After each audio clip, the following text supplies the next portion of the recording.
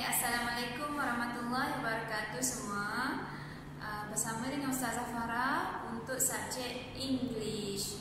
Okey, hari ini Ustazah nak ajar topik yang sama, celebration, tapi kita uh, pergi kepada muka surat 40. Okey, celebrations around the world. Okey, sekarang uh, kita baca vocabulary ni dulu. Okey, vocab dia ada kat atas ni. Yang pertama, stay up. Stay up. Okey, apa maksud stay up? Stay up ialah berjaga malam.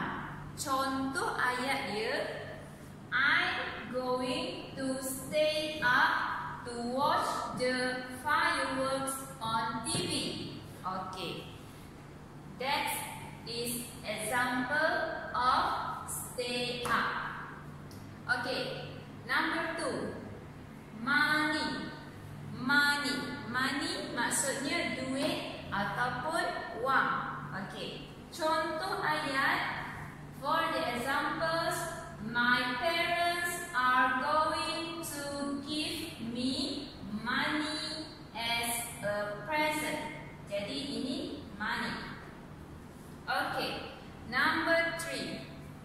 Fireworks. Fireworks. Fireworks maksud dia bunga api. Ha, yang selalu kita tengok bunga api mercun.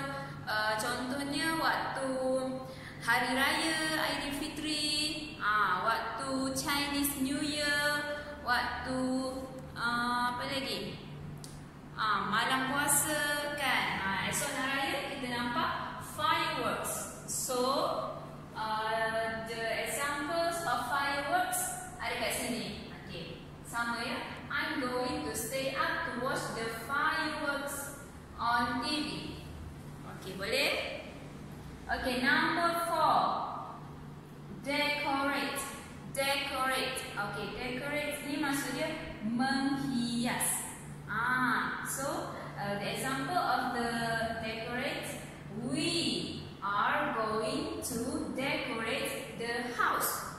Maksudnya, kami akan menghias rumah. Okey, menghias rumah cantik-cantik dan bersih-bersih. Okey. And number five. Number five, barbecue. Barbecue. Okey, selalunya barbecue ni macam yang kita bakar-bakar yang ah itu kita panggil ataupun uh, maksud lain uh, BBQ itu dalam singkatan so barbecue ni selalunya kita memba membakar.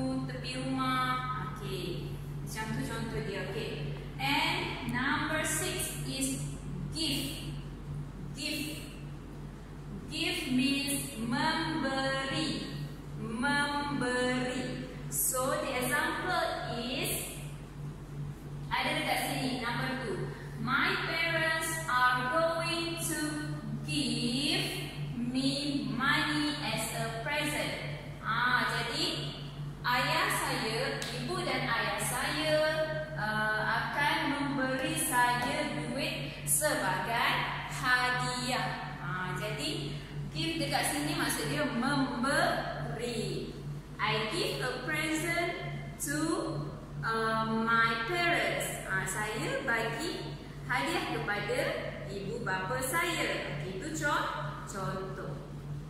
Okey, jadi semua faham topik kita uh, yang ni.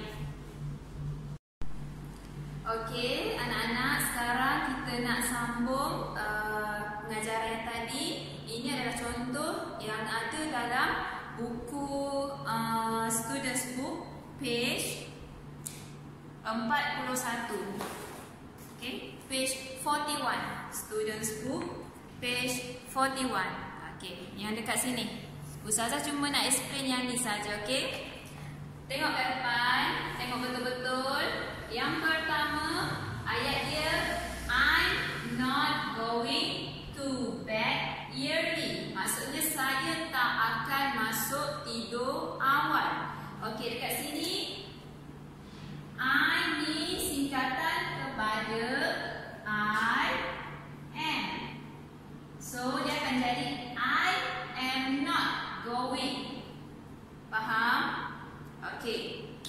Itu untuk I. Okey, ke sini pula. Jadi kita ke sini kita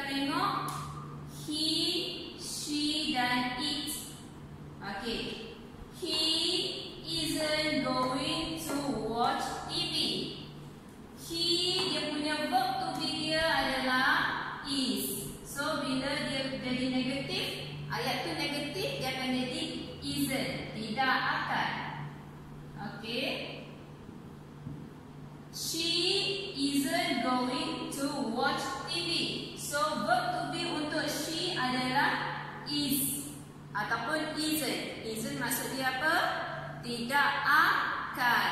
Okey. So she isn't. Kalau it, it pun dia akan jadi isn't going to watch TV. Is ni adalah uh, verb to be untuk it lah sebabnya he singular noun seorang kata ganti diri untuk lelaki seorang kalau she kata ganti diri untuk perempuan seor seorang juga. Dan it adalah untuk benda. Benda yang kita um, apa ni kurang uh, seorang lah. Ataupun uncountable noun yang tak boleh diki, dikira. Okey. Kita tengok ke bawah ni pula. Ini adalah semua plural noun okey saya tulis sini ya.